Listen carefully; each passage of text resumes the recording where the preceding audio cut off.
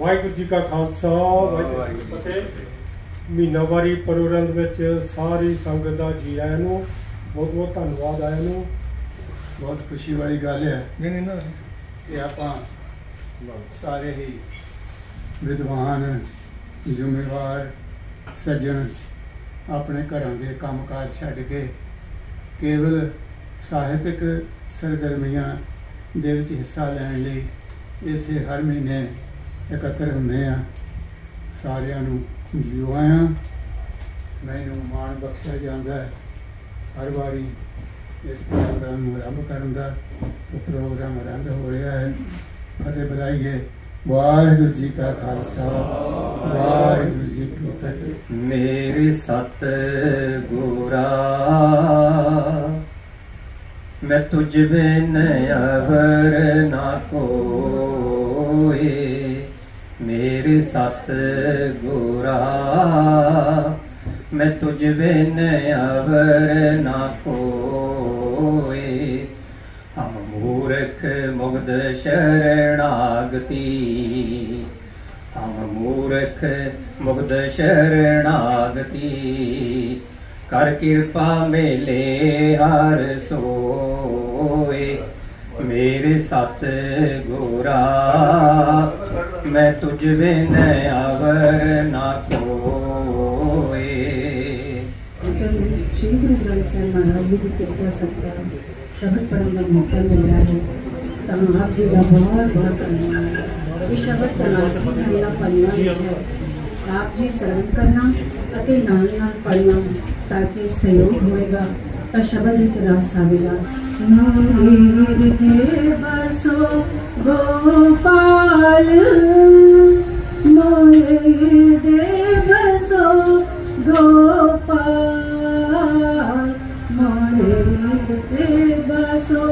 Go.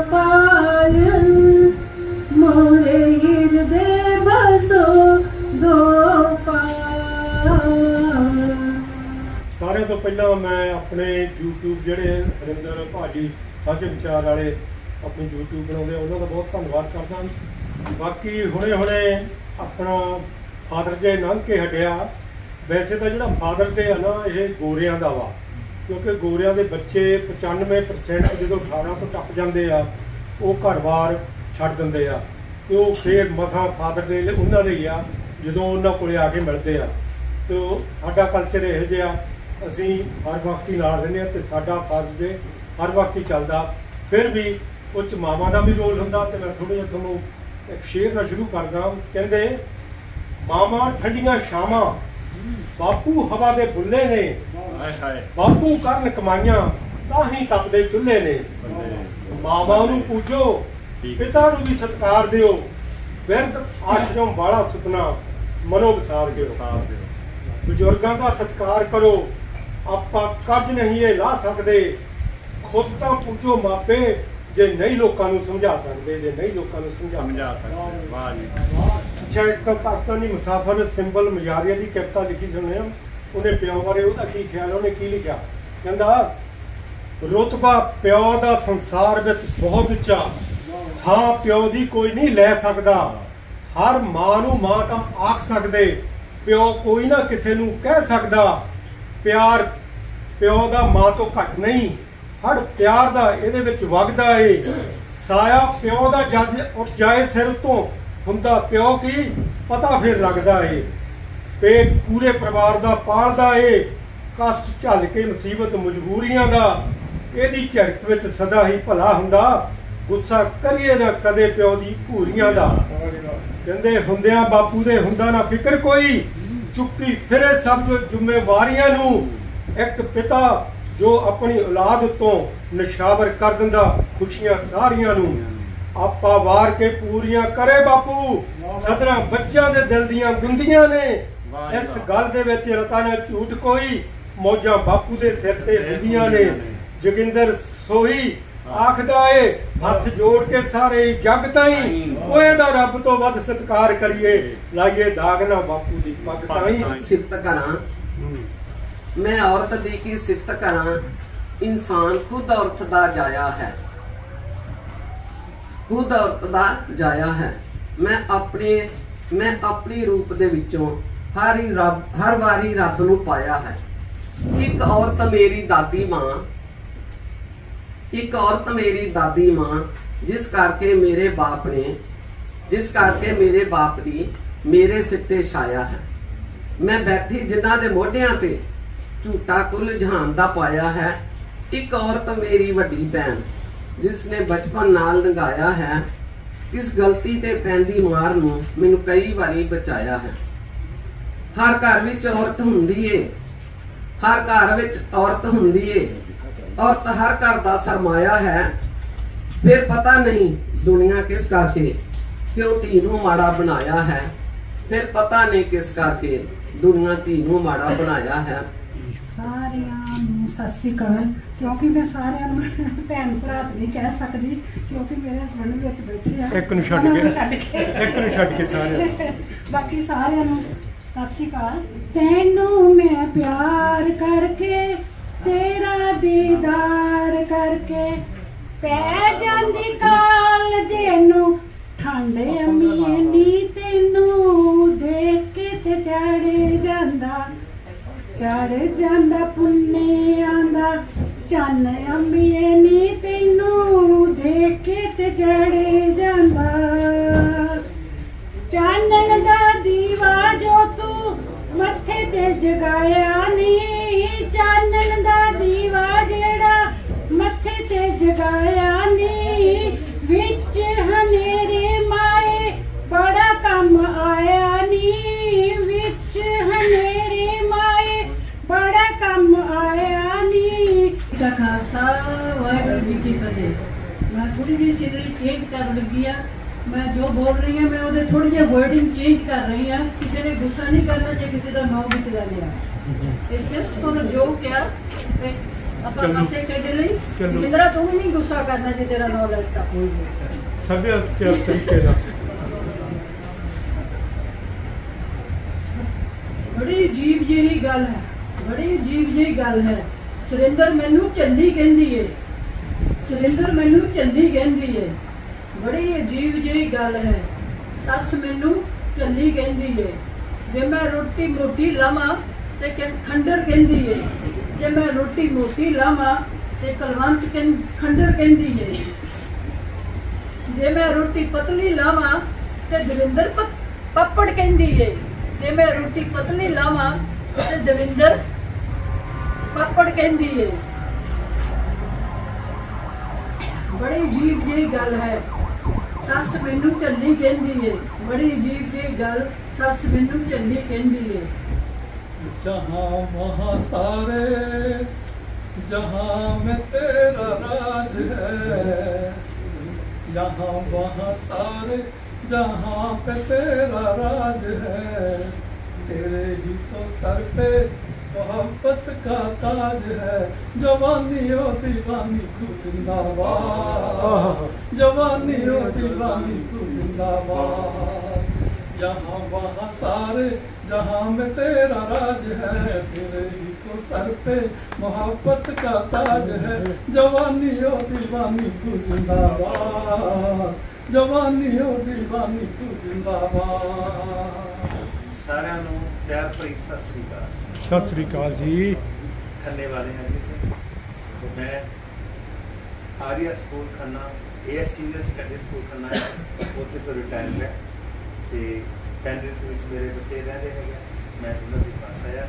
ਤੇ ਜੋਹਲ ਸਾਹਿਬ ਦੇ ਨਾਲ ਕੋਈ ਐਸੀ ਮਿੱਤਰਤਾ ਇਹ ਮੈਨੂੰ ਇੱਥੇ ਤੱਕ ਲਿਆਏ।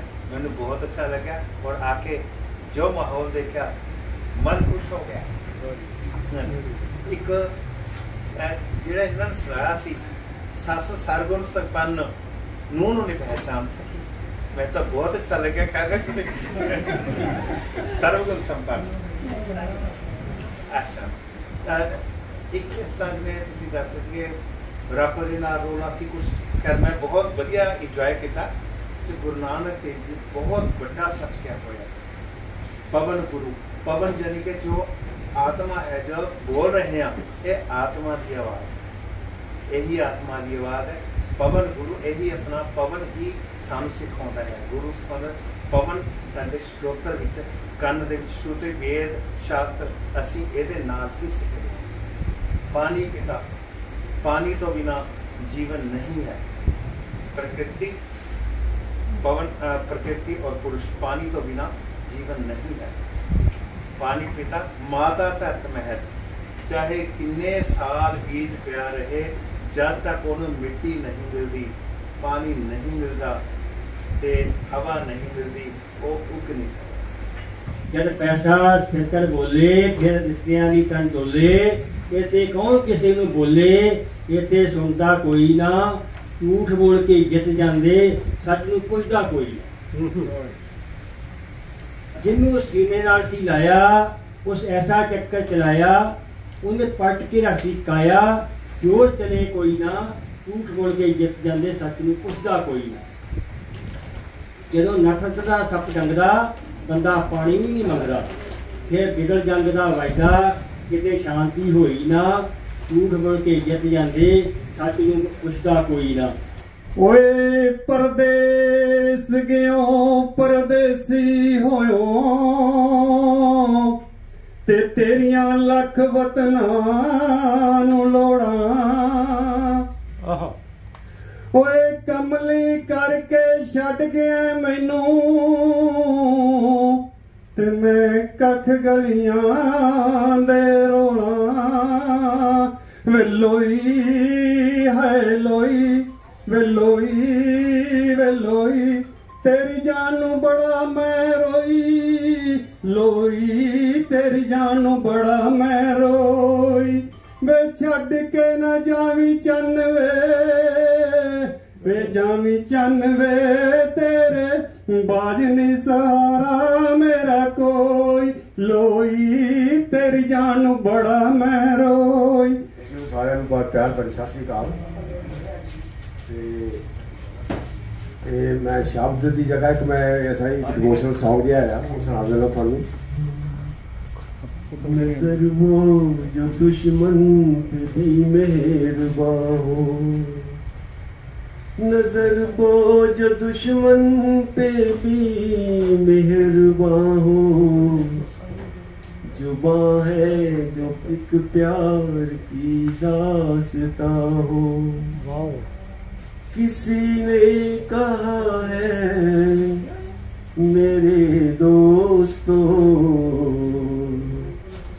बुरा मत सुनो।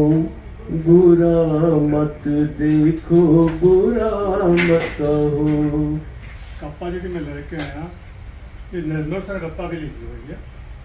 ਬੜੀ ਛੋਟੀ ਜਿਹੀ ਕੱਪ ਔਰ ਇਹਨਾਂ ਨੇ ਕਈ ਮਸਲਿਆਂ ਵੱਲ ਇਸ਼ਾਰਾ ਕੀਤਾ। ਬੇਰ ਪੰਜਾਬ ਦੇ ਵਿੱਚ ਜੋ ਅੱਜ ਅੱਜਕੱਲ ਹਾਲਾਤ ਆ, ਬੇਰੁਜ਼ਗਾਰੀ ਵੱਲ ਇਸ਼ਾਰਾ ਕੀਤਾ। Female PT sir PT sir ਵੱਲ ਇਸ਼ਾਰਾ ਕੀਤਾ। ਪੰਜਾਬ ਦੀ ਵੰਡ ਹੋਈ, ਪੰਜਾਬ ਵੱਡੇ ਗਏ। ਉਹਨਾਂ ਵੱਲ ਇਸ਼ਾਰਾ ਕੀਤਾ ਤੇ ਪਾਣੀ ਅਸੀਂ ਕਿਵੇਂ ਗੰਧਲੇ ਕਰ ਰਹੇ ਆ ਨਸ਼ਿਆਂ ਦਾ ਕਿਸ ਤਰ੍ਹਾਂ ਚੱਲ ਰਿਹਾ, ਇਹਨਾਂ ਸਾਰੀਆਂ ਗੱਲਾਂ ਨੂੰ ਇਹਨੇ ਟੱਚ ਕੀਤਾ। ਬੜੀ ਵਧੀਆ ਢੰਗ ਨਾਲ ਆਪਣੇ ਪੰਜਾਬ ਵਿੱਚ ਇੱਕ ਅੰਦਾਜ਼ੇ ਮੁਤਾਬਕ 12581 ਪਿੰਡ ਨੇ। ਤੇ ਕਸਬੇ ਸ਼ਹਿਰ ਛੋਟੇ ਵੱਡੇ 237 ਨੇ। ਗੁਰਦੁਆਰਾ ਸਾਹਿਬ ਕਈਆਂ ਕਈਆਂ ਪਿੰਡਾਂ 'ਚ ਦੋ ਦੋ ਤਿੰਨ ਤਿੰਨ ਚਾਰ ਚਾਰ ਨੇ। ਇਹ ਜੇ ਆਪਾਂ ਮੋਟਾ ਅੰਦਾਜ਼ਾ ਲਾਈਏ ਤੇ ਤਕਰੀਬਨ 40000 45000 ਗੁਰਦੁਆਰਾ ਸਾਰੇ ਪੰਜਾਬ 'ਚ ਪਿੰਡਾਂ, ਸ਼ਹਿਰਾਂ ਦੇ ਬਣਦੇ ਆ। ਉਹ ਹਰ ਰੋਜ਼ ਸ਼ਬਦ ਪੜਿਆ ਜਾਂਦਾ। ਪਹਿਲਾ ਪਾਣੀ ਜੀਵ ਹੈ, ਜਿਸ ਹਰਿਆ ਸਭ ਕੋਏ। ਪਵਨ ਗੁਰੂ ਪਾਣੀ ਪਿਤਾ, ਮਾਤਾ ਸਾਥ ਮਹਤ ਔਰ ਪਾਣੀ ਦਾ ਤੇ ਕੀ ਹਾਲ ਕੀਤਾ? ਉਹ ਜੋ ਤਰਜਮ ਚਾਹ ਸਕਣ ਕਦੇ ਗੁਲਾਬ ਕਿਹਾ ਸੀ ਪੰਜਾਬ ਨੂੰ, ਉਹ ਜਿਹੜੀ ਸੀ ਦੀ ਰੂਹ ਖਤਮ ਹੋ ਗਈ। ਇਹ ਚਲੋ ਇਹ ਹੈਡਕ ਰੱਖਿਆ। ਪੰਜ ਆਬਾਂ ਦੀ ਧਰਤੀ ਦਾ ਮੌਸਮ। ਰੰਗ ਗੁਲਾਬੀ ਮੱਧਮ ਹੋਇਆ, ਫਿੱਕਾ ਪਿਆ ਗੁਲਾਬ ਜੇ। ਰੰਗ ਗੁਲਾਬੀ ਮੱਧਮ ਹੋਇਆ, ਫਿੱਕਾ ਪਿਆ ਗੁਲਾਬ ਜੇ।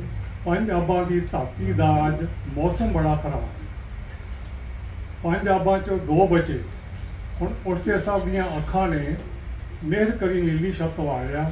ਤੇਰੀਆਂ ਹੀ ਹੁਣ ਅੱਖਾਂ ਨੇ ਜੋ ਕਿ ਸਾਡੀ ਜ਼ਿੰਦਗੀ ਨੂੰ ਕੁਝ ਮਤਲਬ ਬਹੁਤ ਖੁਸ਼ੀ ਨਾਲ ਭਰ ਸਕਦੇ ਆ ਤੇ ਬਹੁਤ ਮਤਲਬ ਤਰੱਕੀ ਕਰ ਸਕਦੇ ਆ ਤੇ ਇਹ ਚੀਜ਼ ਨੂੰ ਜਦ ਅਸੀਂ ਅਪਲਾਈ ਆਪਣੀ ਲਾਈਫ ਦੇ ਵਿੱਚ ਕੁਝ ਚੀਜ਼ ਮੈਂ ਤੁਹਾਨੂੰ ਲਈ ਲੈ ਗਿਆ ਮੈਂ ਕਹਿ ਰਿਹਾ ਹਾਂ मतलब देश में राजा देश में राजा समाज में गुरु परिवार में पिता घर में स्त्री ये कभी साधारण नहीं होते क्योंकि निर्माण और प्रलय इन्हीं के हाथ में होता है और पानी को कितना भी गर्म कर पर वह थोड़ी देर बाद अपने मूल स्वभाव में आकर कोमल शीतल हो जाता है देश ऐसी हमारी ऐसे हम कितने क्रोध में भय में अशांति में रहने पर थोड़ी देर बाद क्रोध से निर्भयता में और प्रसन्नता में आ जाते हैं ਹਫਤਾ ਲੈ ਕੇ ਆਇਆ ਹਾਂ ਤੇ ਜਿਹਦੇ ਚ ਪਰਮਾਤਮਾ ਦੀ ਸਿਫਤ ਵੀ ਹੈ ਤੇ ਥੋੜਾ ਜਿਹਾ ਗਿਲਾ ਵੀ ਹੈ ਤੇ ਸ਼ਾਇਦ ਠੀਕ ਲੱਗੇ ਅਹ ਮੌਲਾ ਓ ਮੌਲਾ, ਦਸ ਤੇਰਾ ਬੰਦੇ ਨਾਲ ਕੀ ਰੌਲਾ? ਤਿਤਲੀਆਂ ਮੋਰਾਂ ਤੇ ਕਾਰੀਗਰੀ ਕੌਣ ਕਰਦਾ? ਐਸਾ ਕੌਣ ਜੋ ਫੁੱਲ ਖਿੜਾਈ ਜਾਂਦਾ? ਗੁਰਾ ਆਖਿਆ ਪਵਨ ਗੁਰੂ, ਫਿਰ ਐਸਾ ਕੌਣ ਜੋ ਪਵਨ ਚਲਾਈ ਜਾਂਦਾ? ਸਤਰੰਗੀ ਪੀਂਘ ਅੰਬਰ ਤੇ ਕੌਣ ਪਾਉਂਦਾ? ਐਸਾ ਕੌਣ ਜੋ ਚੰਨ ਚੜਾਈ ਜਾਂਦਾ? ਦਿਲ ਅੰਦਰ ਧੜਕਦੀ ਧੜਕਣ ਨੂੰ ਧੜਕਾਏ ਜਿਹੜਾ? ਐਸਾ ਕੌਣ ਜੋ ਨਬਜ ਜਾਂਦਾ ਵਾਹ ਜੀ ਵਾਹ ਵਾਹ ਜੀ। ਮਾਧੋ ਲੱਭੀਏ ਉਹ ਚਿੱਤਰਕਾਰ ਕਿਹੜਾ? ਜਿਹੜਾ ਆਪੇ ਬੋਲਦਾ ਆਪ ਬੁਲਾਈ ਜਾਂਦਾ। ਉਹ ਜਿਹੜਾ ਆਪੇ ਲਿਖਦਾ ਆਪੇ ਮਿਟਾਈ। ਤੇ ਹੁਣ ਥੋੜਾ ਜਿਹਾ ਗਿਲਾ ਵੀ ਹੈ। ਕੋਈ ਮਹਿਲਾਂ ਵਿੱਚ ਕੋਈ ਕੁਲੀਆਂ ਵਿੱਚ ਕੋਈ ਸੇਜਾਂ ਤੇ ਕੋਈ ਜੁਲੀਆਂ ਵਿੱਚ ਕੋਈ ਕਰਦਾ ਕਰਦਾ ਮਰਦਾ ਹੈ ਕੋਈ ਕਰਦਾ ਨਹੀਂ ਪਰ ਸਰਦਾ ਹੈ। ਕੋਈ ਲੱਭੇ ਯਾਰ, ਕੋਈ ਠੱਗੇ ਯਾਰ, ਕੋਈ ਚੁੰਮੇ ਯਾਰ, ਕੋਈ ਡੰਗੇ ਯਾਰ। ਇੱਕ ਐਸੀ ਦੁਨੀਆ ਤੇਰੀ ਏ? ਕਿਉਂ ਬਣਿਆ ਫਿਰੇ ਅਣਭੋਲਾ ਮੌਲਾ ਉਹ ਮੌਲਾ ਦੱਸ ਤੇਰਾ ਬੰਦੇ ਨਾਲ ਕੀ ਔਲਾ? ਕਿਉਂਕਿ ਅੱਜ ਕੱਲ੍ਹ ਤੁਹਾਨੂੰ ਪਤਾ ਵੀ ਸ਼ਹਿਰ ਬੜੇ ਵਧੀ ਜਾਂਦੇ ਆ, ਪੰਜਾਬ ਛੋਟਾ ਹੋ ਰਿਹਾ। ਕਾਫੀ ਇਲਾਕਾ ਦਾ ਸੈਂਟਰ ਨੇ ਲੈ ਲਿਆ, ਬਾਰਡਰ ਦੇ ਨਾਲ 30 35 ਕਿਲੋਮੀਟਰ। ਕੁਝ ਇਲਾਕਾ ਪਹਿਲਾਂ ਕੱਟਿਆ ਵੀ ਗਿਆ ਪੰਜਾਬ ਚੋਂ। ਉਹ ਬਾਅਦ ਸੁਣਾਵਾਂਗਾ, ਤੁਹਾਨੂੰ ਪਹਿਲਾਂ ਇੱਕ ਥੋੜਾ ਹਾਸੇ ਵਾਲਾ ਸ਼ੇਰ ਸੁਣਾਵਾਂਗਾ। ਪਹਿਲਾਂ ਨੇਤਾ ਜੀ ਕਹਿੰਦੇ ਸਨ, ਖੂਨ ਦਿਓ। ਪਹਿਲਾਂ ਨੇਤਾ ਜੀ ਕਹਿੰਦੇ ਸਨ, ਖੂਨ ਦਿਓ ਤੇ ਗੀਤ ਆਜ਼ਾਦੀ ਦੇ ਗਾਓ ਲੋਕੋ। ਕਈ ਨੇਤਾ ਹੁਣ ਕਹਿੰਦੇ ਨੇ, ਦਿਓ ਵੋਟਾਂ। ਕਈ ਨੇਤਾ ਹੁਣ ਕਹਿੰਦੇ ਨੇ, ਦਿਓ ਵੋਟਾਂ, ਖਾਈਏ ਗੱਫੇ ਤੇ ਤੁਸੀਂ ਧੱਕੇ ਖਾਓ ਲੋਕੋ। ਖਾਈਏ ਗੱਫੇ ਤੇ ਤੁਸੀਂ ਖਾਓ ਲੋਕੋ, ਕਹਿੰਦੇ ਇੱਕ ਨੇਤਾ ਦੀ ਇੱਕ ਮਾਂ ਮਰ ਗਈ। ਇੰਨਾ ਕਹਿ ਕੇ ਇੱਕ ਨੇਤਾ ਦੀ ਮਾਂ ਮਰ ਗਈ, ਲੋਕੀ ਰਲ ਰਲ ਭੰਗੜੇ ਪਾਉਣ ਲੱਗ ਪਏ। ਮੈਂ ਪੁੱਛਿਆ, ਮੌਤ ਜਵਾਨ ਉੱਤੇ ਤੁਸੀਂ ਕਾਹਤੋਂ ਖੁਸ਼ੀ ਬਣਾਉਣ ਲੱਗ ਪਏ? ਮੈਨੂੰ ਪਾਸੇ ਲਿਜਾ ਕੇ ਸਮਝਾਇਆ ਉਹਨਾਂ।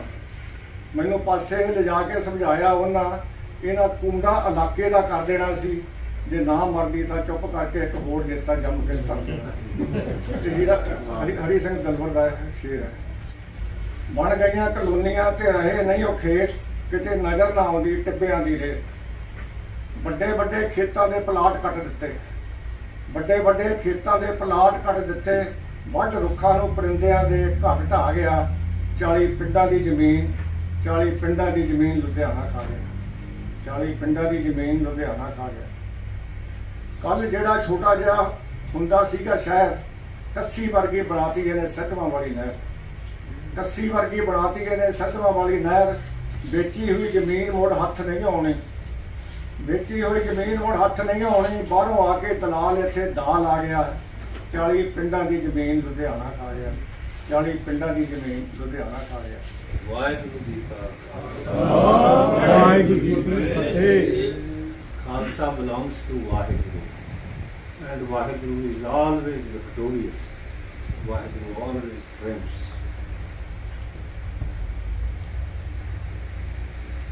ਇੰਨੀਆਂ ਸੁਰੀਲੀਆਂ ਆਵਾਜ਼ਾਂ ਦੇ ਵਿੱਚ ਮੇਰੇ ਵਰਗੇ ਗਾਂ ਵਰਗੀ ਆਵਾਜ਼ ਵਾਲੇ ਨੂੰ ਵੀ ਬੋਲਣ ਦਾ ਮੌਕਾ ਮਿਲਦਾ ਤੁਹਾਡਾ ਬਹੁਤ ਬਹੁਤ ਧੰਨਵਾਦ।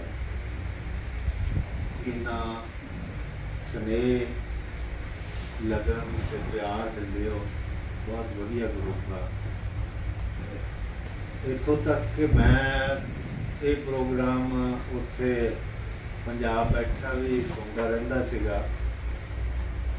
ਤੇ ਗਿਆਨੀ ਸੰਤੋਖ ਸਿੰਘ ਜੀ ਮੇਰੀ ਗੈਰ ਹਾਜ਼ਰੀ ਦੇ ਵਿੱਚ ਵੀ ਮੇਰੀ ਹਾਜ਼ਰੀ ਲਾਈ ਜਾਂਦੇ ਹੁੰਦੇ ਸੀ। ਭਾਈ ਸਾਹਿਬ ਨੇ ਨਸ਼ੇ ਦੀ ਗੱਲ ਕੀਤੀ ਆ, ਇੱਕ ਮਿੱਤਰ ਨੇ ਨੇਤਾ ਦੀ ਗੱਲ ਕੀਤੀ ਆ। ਕਿਸਾਨ ਐਜੂਕੇਸ਼ਨ ਬਾਰ-ਬਾਰ ਸਾਨੂੰ ਯਾਦ ਆਉਂਦਾ। ਤੇ ਮੈਂ ਅੱਜ ਤੁਹਾਡੇ ਨਾਲ ਗੱਲਾਂ ਹੀ ਕਰਨੀਆਂ ਕਿਉਂਕਿ ਕਾਫੀ ਦੇਰ ਬਾਅਦ ਆਇਆ। ਕੋਈ ਗੀਤ, ਕੋਈ ਕਵਿਤਾ, ਕੋਈ ਹਿਸਟਰੀ ਦੀ ਆਪਾਂ ਕੋਈ ਗੱਲ ਨਹੀਂ ਕਰ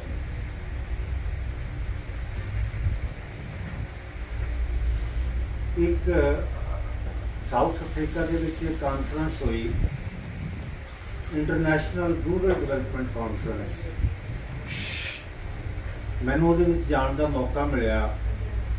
ਹੁਣ ਟਾਟਾ ਸ਼ਹਿਰ ਦੇ ਵਿੱਚ ਜੋਹਾਨਸਬਰਗ ਤੋਂ ਕੋਈ ਡੇਢ ਦੋ ਘੰਟੇ ਛੋਟੀ ਫਲਾਈਟ 25 ਵਾਲੀ ਜਿਹੜੀ ਐਂ ਲੱਗਦਾ ਵੀ ਹੁਣ ਵੀ ਡਿੱਗੀ, ਹੁਣ ਵੀ ਡਿੱਗੀ, ਉਹਦੇ ਤੇ ਡੇਢ ਦੋ ਘੰਟੇ ਲੱਗਦੇ ਆ।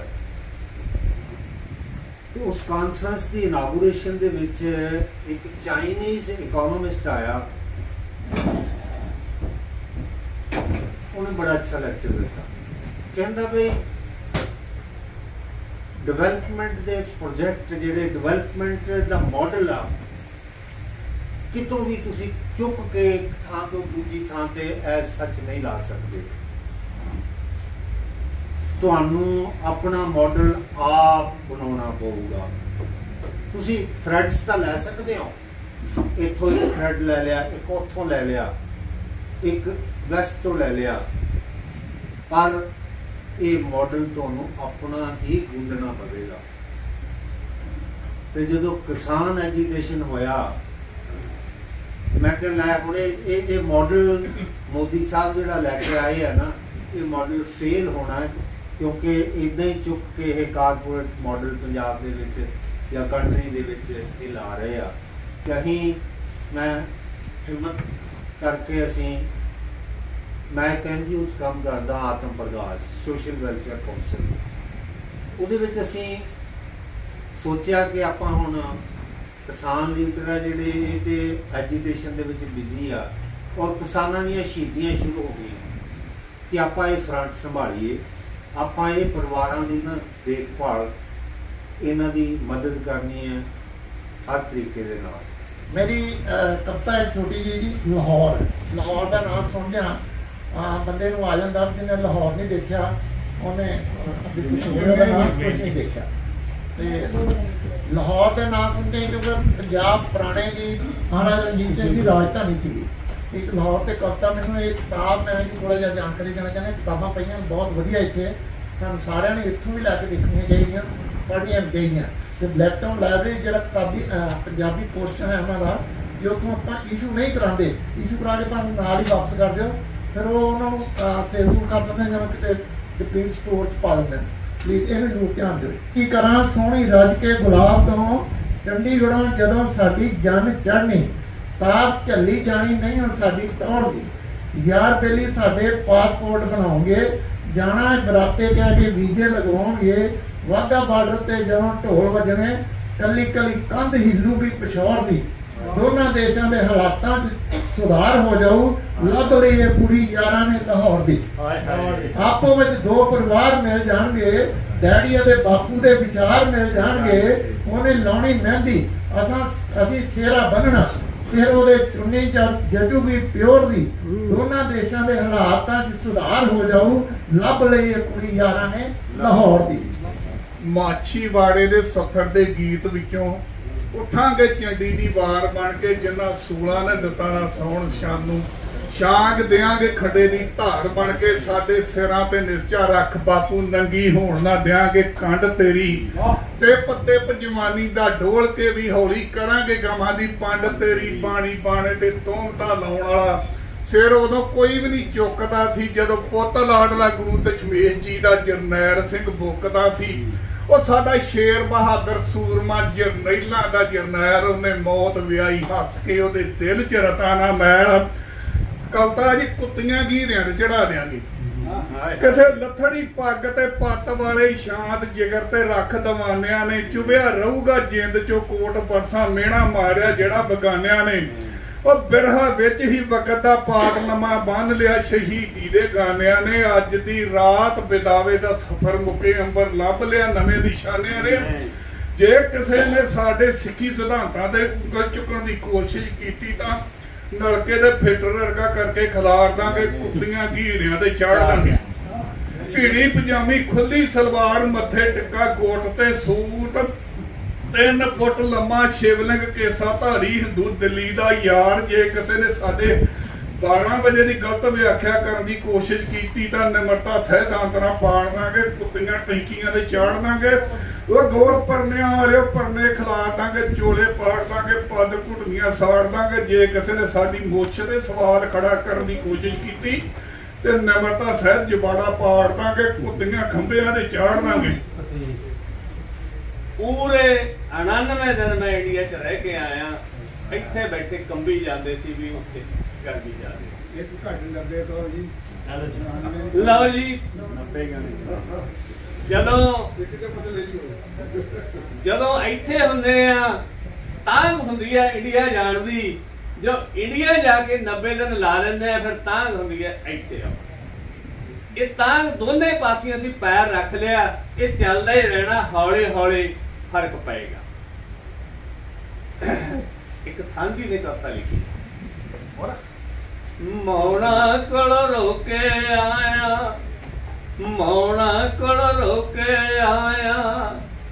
ਖੇਤੀ ਖੂਹਾਂ ਤੇ ਬਹਿ ਕੇ ਮੌਣਾ ਕੋਲ ਰੋਕੇ ਆਇਆ। ਖਾਲੀ ਖੜੇ ਮੰਜਿਆਂ ਦੀਆਂ ਕਰ ਦੌਣਾ ਕੋਲ ਰੋਕੇ ਆਇਆ। ਖਾਲੀ ਖੜੇ ਮੰਜਿਆਂ ਦੀਆਂ ਕਰ ਦੌਣਾ ਕੋਲ ਰੋਕੇ ਆਇਆ। ਦੇਖਣ ਨੂੰ ਤਾਂ ਉਂਝ ਹੋ, ਬਾਣ ਦੀਆਂ ਰਸੀਆਂ ਸੀ। ਦੇਖਣ ਨੂੰ ਤਾਂ ਉਂਝ ਹੋ, ਬਾਣ ਦੀਆਂ ਰਸੀਆਂ ਸੀ। ਚੁੰਮ ਚੁੰਮ ਕੇ ਰੋਇਆ ਮੇਰੇ ਬਾਪੂ ਨੇ ਕਸੀਆਂ ਸੀ। ਮੈਂ ਦੌਣਾ ਕੋਲ ਰੋਕੇ ਆਇਆ। ਖਾਲੀ ਖੜੇ ਮੰਜਿਆਂ ਦੀਆਂ ਦੌਣਾ ਕੋਲ ਖਾਲੀ ਖੜੇ ਮੰਜਿਆਂ ਦੀਆਂ ਦੌਣਾ ਕੋਲ ਰੋਕੇ ਆਇਆ। ਦਿਲ ਕੀਤਾ ਟੱਠਿਆ ਚੌਂਕਾ, ਲਿਪ ਦੇਵਾ ਕਾਣੀ ਕਰਕੇ। ਦਿਲ ਕੀਤਾ ਟੱਠਿਆ ਚੌਂਕਾ, ਲਿਪ ਦੇਵਾ ਕਾਣੀ ਕਰਕੇ ਅੱਧੀ ਟੁੱਟੀ ਨੁਕਰ ਦੇ ਵਿੱਚ ਬੇਬੇ ਦੀ ਪਈ ਮਦਾਣੀ ਚੇਤੇ ਆਈ ਉਮਰ ਨਿਆਣੀ ਦਿੰਦੀ ਰਹੀ ਰੜਕ ਜਿਹਦੇ ਨਾਲ ਮੱਖਣ ਤੇ ਸੀ ਆਖਰੀ ਵਾਰੀ ਮੇਰੇ ਬਾਪੂ ਨੇ ਕਸੀਆਂ ਸੀ। ਆਖਰੀ ਵਾਰੀ ਮੇਰੇ ਬਾਪੂ ਨੇ ਕਸੀਆਂ ਸੀ। ਘਰ ਮੈਂ ਦੌਣਾ